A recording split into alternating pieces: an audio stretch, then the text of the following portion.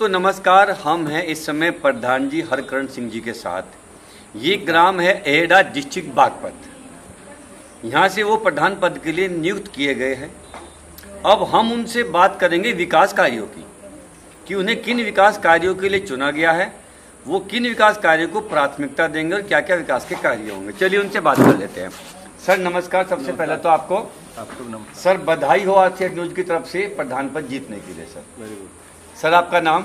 नाम मेरा हरकरण सिंह। गाँव का नाम सर? एडा डिस्ट्रिक्ट बागपत। जी। वो नींबू पानी बढ़िया। सर पहला इलेक्शन है? नहीं राजनीति में शुरू से ही करते हैं। शुरू से करते हैं? शुरू से करते नहीं प्रधान का लड़ाते थे हम लड़ते नहीं। जी, जी। लेकिन अब वो खुद ही लड़ पड़े। जी खुद ही लड़ पड़े। हाँ। कोई बात नहीं है। प्रधान जी अब तक इलेक्शन लड़ाते थे। इस बार लड़ाते लड़ाते खुद ही लड़ बैठे और जीत गए लड़ते ही। देखिए जो दूसरों को जिता सकते हैं उनके लिए खुद का जीतना कोई बड़ी बात नहीं होती। जी। सर इस जीत के पीछे कारण? कारण यही था जी एक तो पानी का। पानी की बहुत समस्या है। जी। यहाँ कम से कम 80 नब्बे फुट पे जाकर के जो है। पानी है। पानी। बहुत ही ज़्यादा समस्या है पानी। जी। और शिक्षा की भी सबसे पीछे है। अच्छा जी। क्योंकि बागपत पाँच किलोमीटर है टटरी दो किलोमीटर है। जी। ये भी यहाँ शिक्षा की बहुत कमी है। जी जी। तो तो इन मुद्दों को लेकर आपने चुनाव लड़ा है इन पर आपका स्पेशल ध्यान होगा। बिल्कुल ऐसा चलिए एक एक मुद्दों को लेकर बात कर लेते हैं सर। सबसे पहले शिक्षा पर ही बात करते हैं। कितने स्कूल है सर यहाँ पर? हमारे यहाँ हमारे यहाँ स्कूल है जी यहाँ तीन।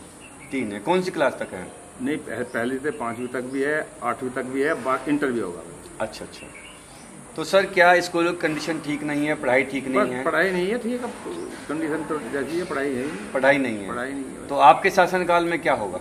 देखता हूँ जी ऐसे ही बदलाव करता हूँ नहीं करता हूँ। बदलाव करने की कोशिश की कोशिश करी जाएगी जाएगी। कि बदलाव हो पढ़ाई हो शिक्षा हो उसको आगे बढ़ाया जाए। जो गरीबों को बच्चों को जो भी मिलना है वो मिलना चाहिए। वो मिलना चाहिए। सर मिड डे मील की सुविधा है गाँव में जो प्राइमरी स्कूल है? हाँ है सुविधा लेकिन मिल नहीं रही। मिल नहीं रही। मिल नहीं रही। सर हम समझे हरकरण जी के शासनकाल में मिड डे मील प्रॉपर रूप से मिलेगा खाने की क्वालिटी भी कुछ होगी। सही मिलेगी जी। एक बार वहीं खाना खाऊँगा। अरे क्या बात है। मिड डे मील की सुविधा पूरी पूरी होगी और उसका खाना उच्च क्वालिटी का होगा। हमारे हरकरण जी कहना है कि मैं भी वहीं खाऊँगा फिर खाना। बिल्कुल जी। जी क्योंकि क्वालिटी उसकी बढ़िया वाली होगी। सर गाँव में कोई लाइब्रेरी है? लाइब्रेरी है प्राइवेट। प्राइवेट प्राइवेट वैसे ही किसी लड़के दो चार लड़के नो दस पाँच लड़के नो खुल रखे जी नहीं वैसे सर जो गवर्नमेंट की तरफ़ से या गवर्नमेंट की की तरफ़ से। कुछ नहीं। क्या किया जा सकता है कुछ उसमें काम? हाँ सोच रहा हूँ मैं कि ये लाइब्रेरी बनाया जाए। हाँ प्रधान जी के विचारों में विकास के कार्यों में लाइब्रेरी भी शामिल है। जिसको करने का ये पूरा प्रयत्न करेंगे। चलिए जब बात शिक्षा की हो रही है तो साथ में खेलकूद ज़रूर आता है। ऐसी नौजवानों की मांग रहती है हर गाँव में। हो सकता है यहाँ भी होगी। तो चलिए हम इस विषय पर प्रधान जी से बात कर लेते हैं। प्रधान जी गाँव में खेल का मैदान है कोई? खेल का मैदान कोई नहीं है। तो क्या डिमांड नहीं है यहाँ के नौजवानों की? है डिमांड। तो एलएमसी है यहाँ पर? बिल्कुल एलएमसी है। खेल मैदान भी है। तो खेल मैदान है पहले से? है। उसकी क्या स्थिति है? स्थिति ये की है कि एक मतलब जोड़ का पानी गाँव का पानी जा रहा है। अच्छा जी। और दूसरी में दूसरा पड़ा तो नहीं है खाली लेकिन कुछ गड्ढा है कुछ हुआ है। उसके वो है। हाँ उसका अभी एक दो दिन में भराव करा कर तो क्या प्रॉपर रूप से खेल का मैदान अब बन जाएगा? बनेगा जी दोनों जगह जहाँ पर सिर्फ़ खेल होगा। खेल होगा। खेल होगा वहाँ पर। दो गाँव है हमारे यहाँ दुड़बा और हेड़ा। दो दुड़बा और अहेडा। दो गाँव है। दो गाँव है। देखिए खेल का मैदान तो है लेकिन वो खेल का मैदान होने के बावजूद भी नहीं है। अब वो खेल का मैदान खेल का मैदान ही बनेगा और उस पर खेल ही होगा। खेल ही होगा। उसको बढ़िया बनवाया जाएगा और आगे उस पर स्पोर्ट्स खेल वगैरह चलते रहेंगे ऐसा प्रधान जी का कहना है हमारे। सर पेंशन तो सभी की बनी होगी या कुछ रह गई है? बहुत बहुत ही कम। बहुत कम बनी है? बहुत कम बनी है। अब तो बन जाएगी? बनने की ये हमारे यहाँ लेडीज़ पटवारी है। अच्छा जी। वो, कुछ काम ही नहीं करके देती। वो बच्चों के तो देती नहीं वो बना करके। इतना अच्छा। भ्रष्ट देश में है। कि वो एक पटवारी है पटवारन है उसको तो भला सरकार की बात तो ये है कि पटवारन बनानी कुछ चाहिए लेकिन चलो बनेगी तो चलिए वो महिला को आगे ला रहे वो तो कोई विषय नहीं है। पर विषय ये है देखिए जो भी महिला पटवारी जी है मेरी रिक्वेस्ट है आप हमसे बड़ी है कि प्रधान जी काम करना चाहते हैं तो प्लीज़ उनका साथ दीजिए। देखिए जब तक प्रशासन साथ नहीं देगा आप भी प्रशासन का एक हिस्सा हो। तब तक अकेले प्रधान कुछ नहीं कर सकते। तो आपसे हाथ जोड़ कर रिक्वेस्ट है आज से न्यूज़ के माध्यम से तो प्लीज़ जो भी आपका काम है आप कीजिए। जो प्रधान जी का काम है वो प्रधान जी करेंगे। तभी हमारे गाँवों के विकास होंगे तभी हमारे देश का विकास होगा। मैं तो सबकी कोशिश करता हूँ कि जो। साठ साल से ऊपर हैं अपार हैं उनको सभी की पेंसिल हो जिससे सभी की पेंसिल सभी की पेंसिल हो सभी का काम हो। गाँव में कोई शमशान घाट सर? कोई नहीं।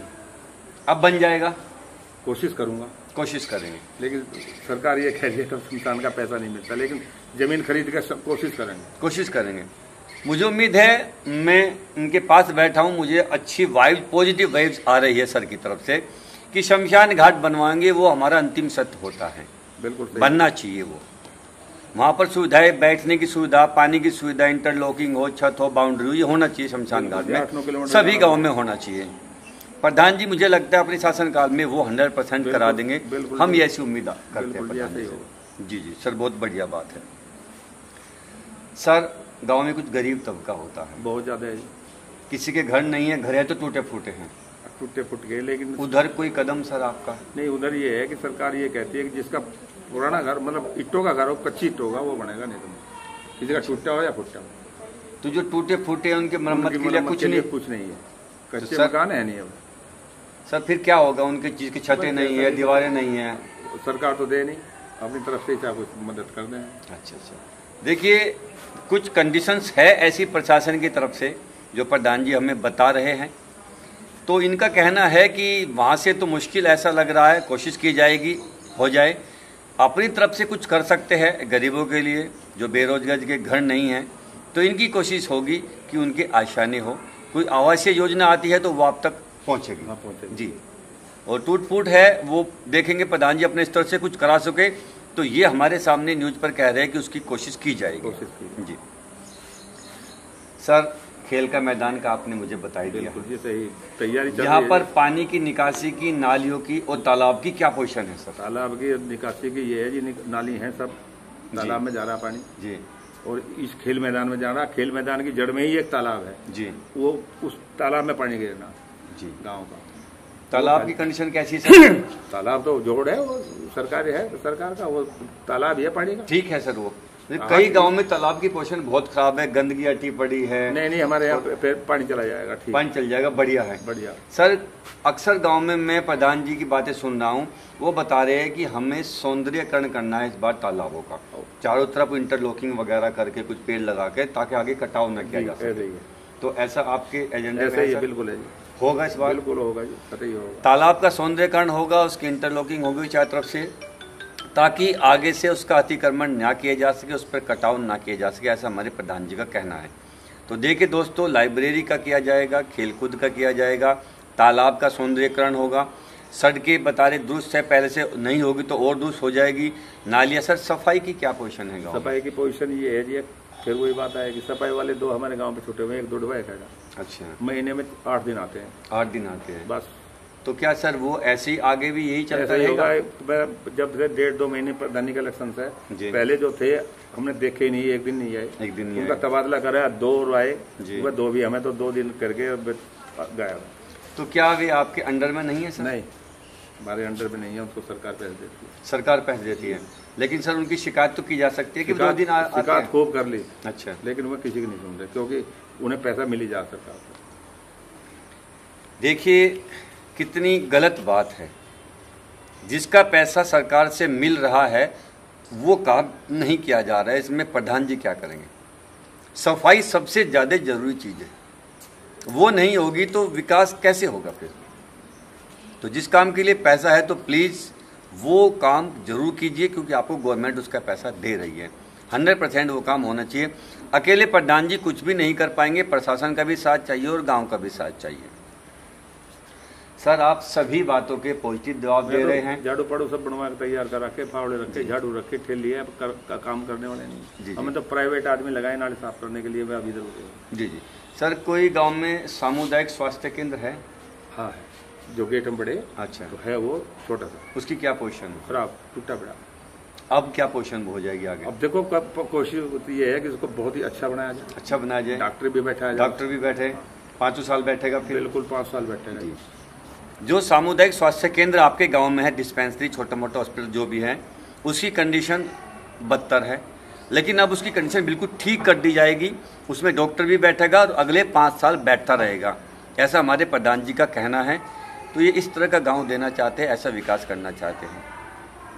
सभी बात को जवाब आपने सुन लिए हैं। खेल के मैदान को लेकर हो वो बनाया जाएगा उसकी कोशिश होगी पूरी। लाइब्रेरी नालियों की सफ़ाई पानी की निकासी तालाब का सौंदर्यकरण सामुदायिक स्वास्थ्य केंद्र शमशान घाट। सर शमशान घाट है गाँव में? नहीं है। अच्छा। अभी शमशान घाट के बारे में बात हुई है। कि शमशान घाट का ज़रूर किया जाएगा जैसा हमारे प्रधान जी का कहना है। ये सभी चीज़ें की जाएँगी ऐसा इनकी तरफ़ से वादा है लेकिन बात में अंत में बात फिर वही आती है कि प्रशासन का साथ चाहिए गाँव वालों का साथ चाहिए। बिल्कुल तो चलिए हमें कुछ इंतज़ार करना होगा तब तक जब तक कि विकास के कार्यों का आगाज़ नहीं होता और वो अंजाम तक नहीं पहुँचते। हम छः महीने या साल भर बाद एक बार फिर आएँगे देखेंगे कि विकास के कार्यों को कितनी गति मिली है और किन कामों का आगाज़ हुआ है, कौन से काम अपने अंजाम तक पहुँचे हैं। इसके लिए हमें थोड़ा इंतज़ार करना होगा। सर, आपने इतना वक्त दिया, इसके लिए धन्यवाद। और एक बार फिर से सर, बधाई हो आपको इलेक्शन जीतने के लिए। मैं आर न्यूज़ से राज और कैमरे पर है मेरे साथ गौरव कुमार।